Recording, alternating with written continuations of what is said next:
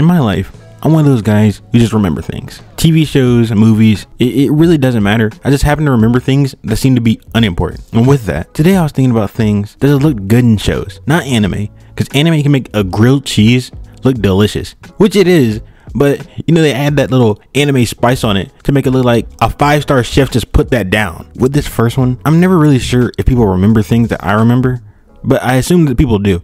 But the kelp shake from SpongeBob looked immaculate, looked delicious. Like, I don't know what they're putting in it. I remember like apparently it was bad for them or something like that. Like I forget how the episode ends, but I remember like it was like some type of controversy with it at the end. But during the time that I saw them drinking it, people were going people were going to the restaurant just for the shake. Like listen to this. it's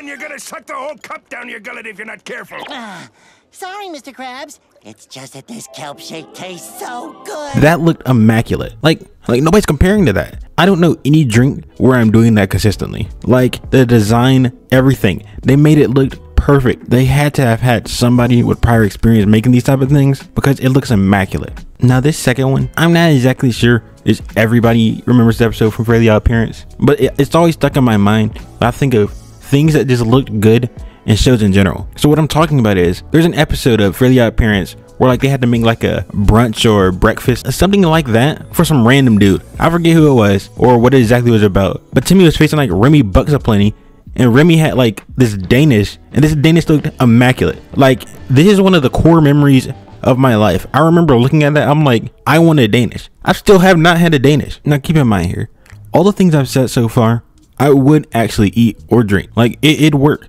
Like I would have them. But this next thing, I would not eat at all. If you've seen iCarly before, there's an episode where they're like eating pie for some reason. I forget the exact specifics, but it was like Galini's pie. And they're trying to like find the recipe for this coconut cream pie. That sounds disgusting completely. Like when I tell you I'm a firm believer in coconut is one of the most disgusting things ever made, I don't know what to tell you. I'm that dude who's not gonna eat it. I think like the only person I know that likes it is my mother but that's just off the top of my head. But anyway, they had this pie and they're like trying to find a recipe for it. But the original pie, like at the beginning, they were smacking it. And I don't care what you say, if you don't like something or not, if somebody's eating something like that, you're gonna think maybe I want a piece too. Like imagine, let me think, what is something that's disgusting? I know there's people who like this, but imagine somebody's eating like anchovies on pizza, like you're fried from Futurama. If they're eating it like that and, and, and they're just smacking it up, I'm most likely gonna try a piece. And this is the same situation with it. Both sound disgusting, but the way people are eating them in the show and gassing it up like pushes it to another level to make it look delicious that that's the case for this one like i'm not i'm not even really a pie guy like that like i'm i'll eat my desserts but like i'm not eating them like that but in that episode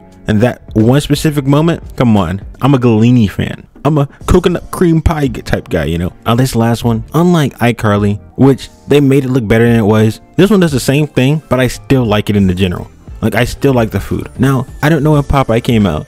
Yeah, you're getting where this is going at this point, if you know what it is. I don't know when Popeye came out though. Let me guess. Let me guess. I was gonna look it up. 19 54. Popeye's that dude. And if, I guess if you haven't seen Popeye before, this man is sailor man. He be fighting for his wife, his his lover. I forget who it is. But whenever this man he tussling, get down the dumps, like you think he gonna lose, he pulls out a can of spinach, a complete completely raw can of spinach, and just one shots it delicious and that man gets superpowers he start winning the day that looks immaculate no don't get me wrong here spinach itself is good. It's one of the rare things in my life as a kid that I could eat, as in a vegetable. Like I, I could eat spinach. Spinach was good for me. But in Popeye, he made a, a raw can of spinach under no heat. Look like it, it, was like the only thing we needed for our survival. Like like you can throw away the rest of the foods because Popeye here has the best food on earth. As I said, I like spinach, but this only enhanced it. Now I'm sure I did some obvious ones, maybe, maybe not. I didn't look at too many lists, but these foods and drinks were some of the most immaculate stuff in my childhood. All of the doggies